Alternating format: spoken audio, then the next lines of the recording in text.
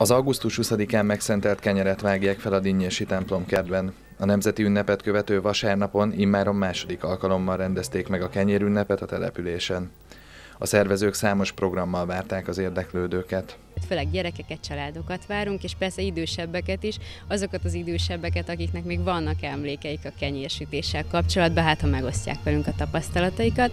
Bábelőadással készültünk, gyerek népzenei produkciókkal, játszóházzal, kézműves mesterségeket lehet tanulni, este pedig délután már főleg a felnőtteknek egy bordal összeállítással készültünk, egész nap lesz kenyérsütés, pereckészítés. Akik kilátogattak a Dinnyési templomkert hagyományőrző központba, azok a színpadi programok mellett a Kemence Barátok Egyesület jóvoltából megismerkedhettek a hagyományos kemencés kenyér elkészítésével is. Nem egy egyszerű dolog a kenyérsütés, főleg kemencébe, mert hát nehéz eltalálni, hogy a tészta az pont jó legyen, amikor pont jó a kemence, tehát ezt a kettőt össze kell hangolni.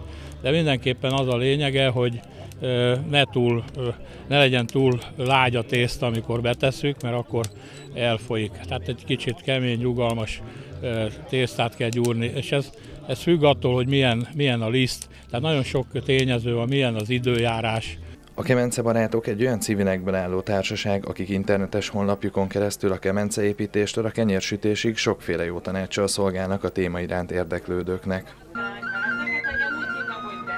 Visszatérve a kenyérünnepre, a szervezők a kilátogatóknak hagyományőrző színpadi programokkal is készültek.